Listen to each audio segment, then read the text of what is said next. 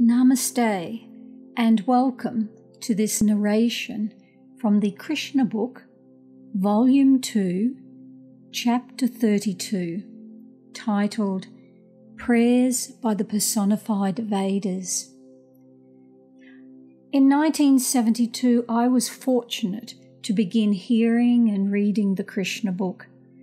But out of my foolhardiness and folly, when I arrived at prayers by the personified Vedas, I read just a couple of paragraphs before skipping the rest of the 66 pages of that chapter.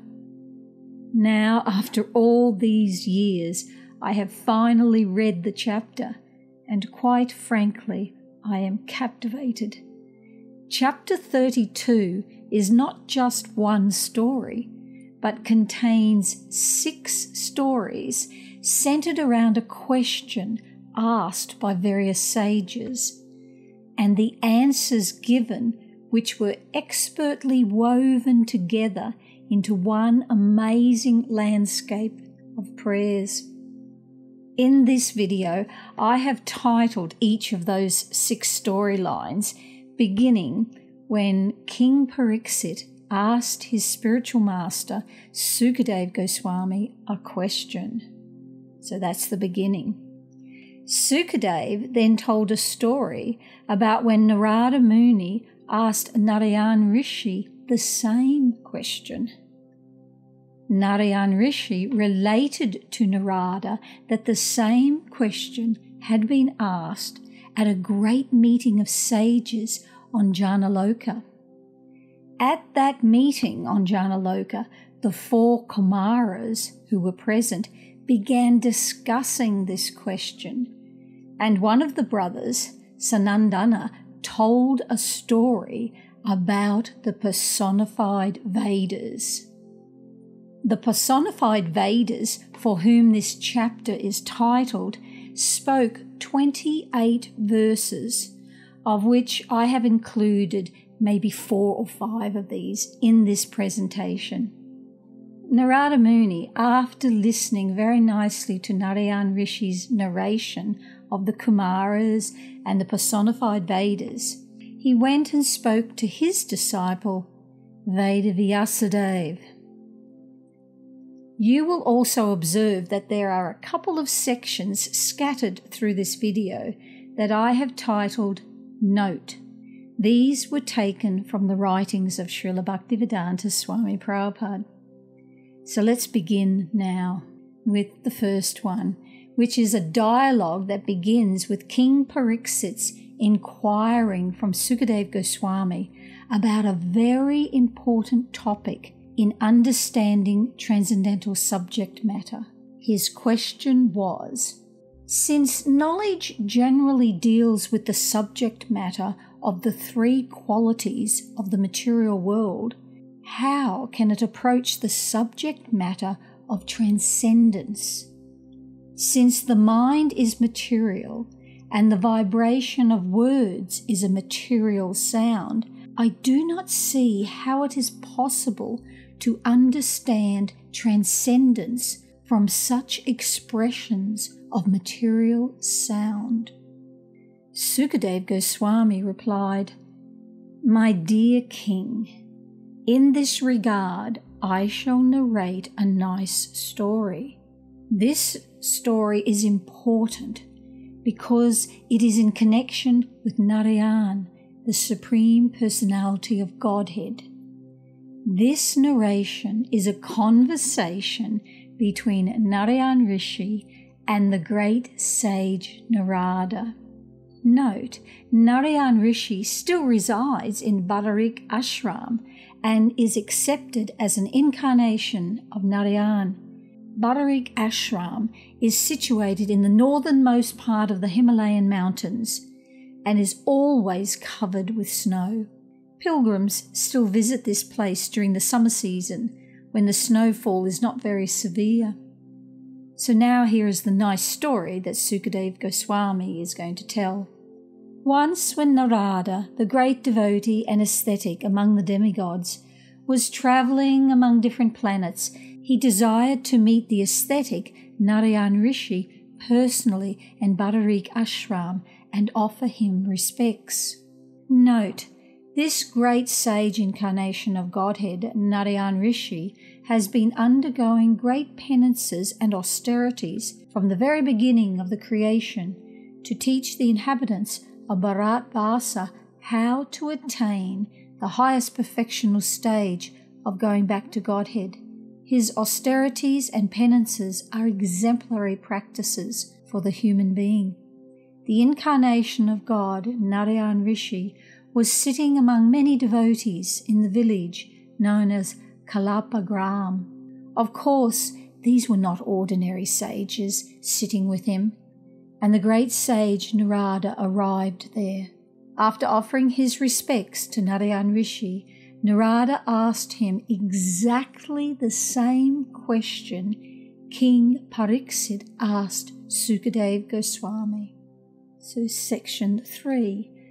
The Rishi answered by narrating a story of how the same question had been discussed on the planet known as Janaloka which is above the Svargaloka planets such as the Moon and Venus.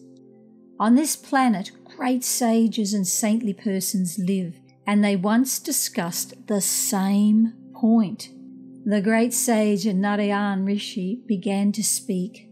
My dear Narada, I shall tell you a story which took place long, long ago there was a great meeting of the denizens of the heavenly planets, and almost all the important brahmacharis, such as the four Kumaras, Sanandana, Sanaka, Sanatana, and Sanat Kumar, attended. You were not present at that meeting because you had gone to see my expansion, Aniruddha, who lives on the island of Svetadvipa.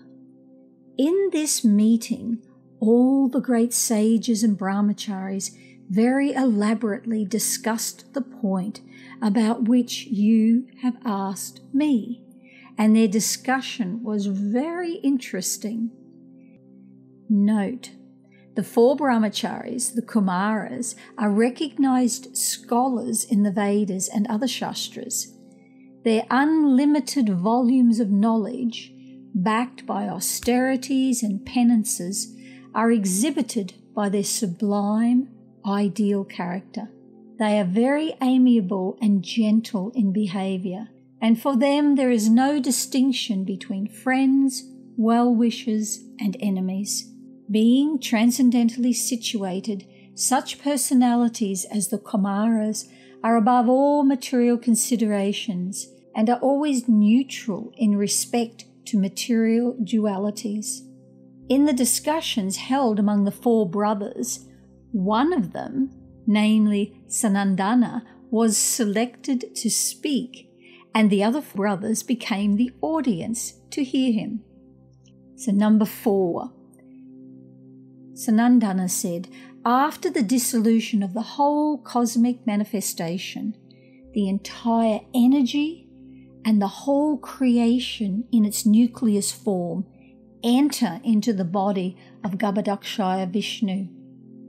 The Lord at that time remains asleep for a long, long time.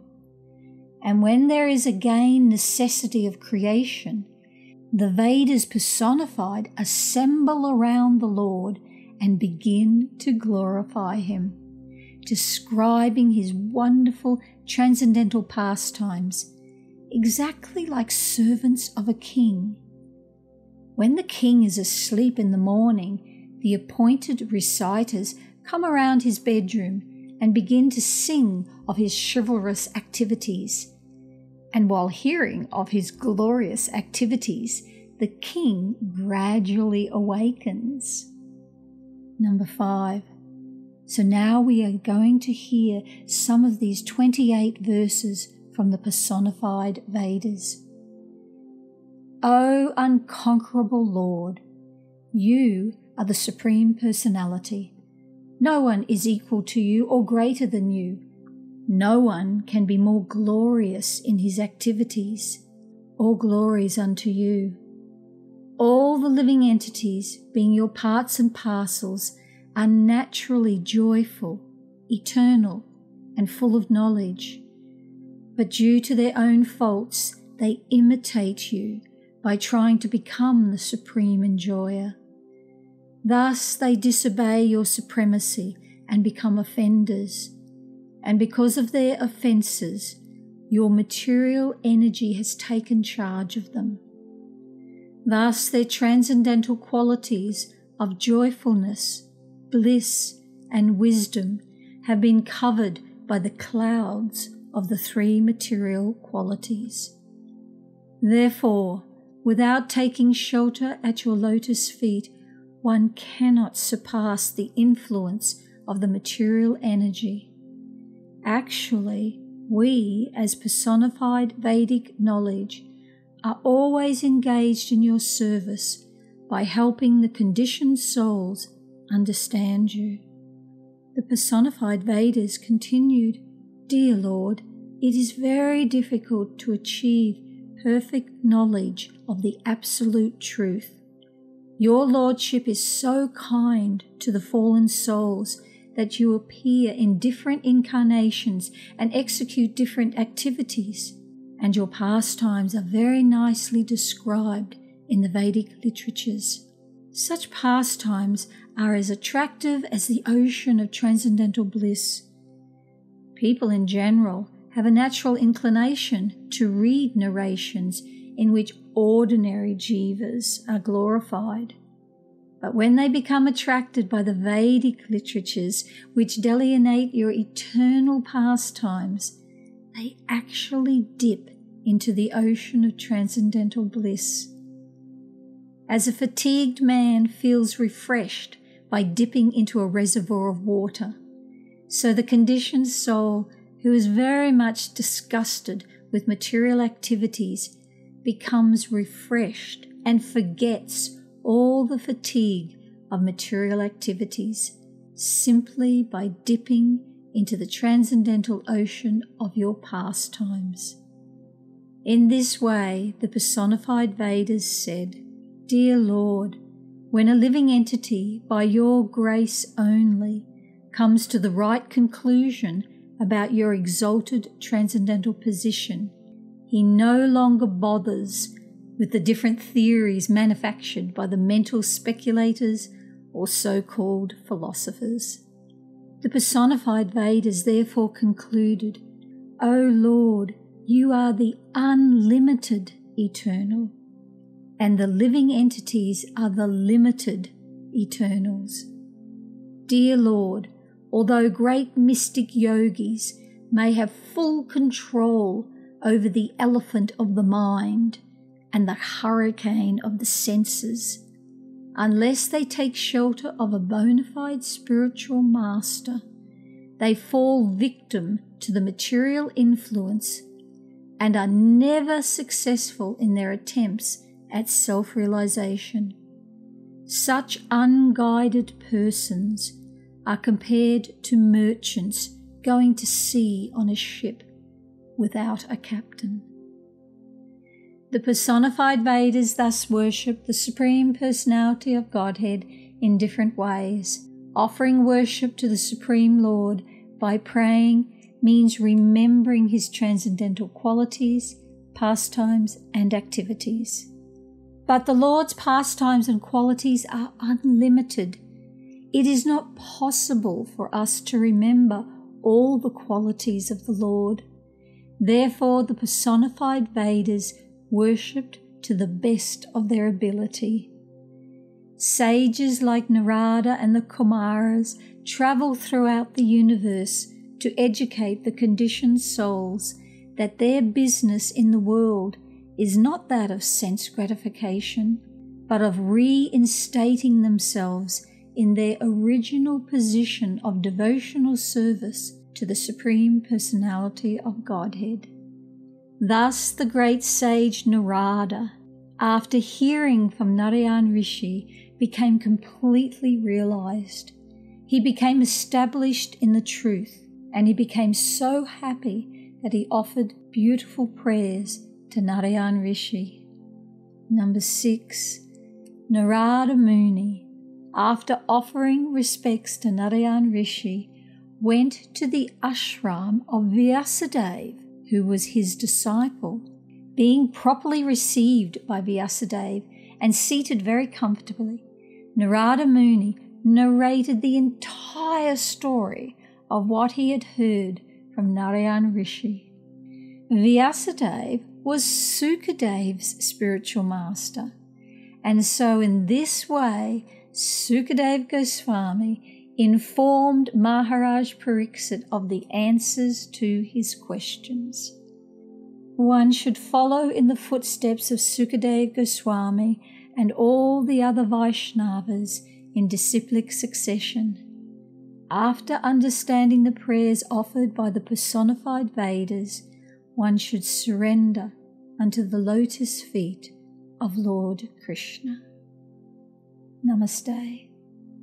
Hare Krishna, Hare Krishna, Krishna Krishna, Hare Hare, Hare Rama, Hare Rama, Rama Hare Hare.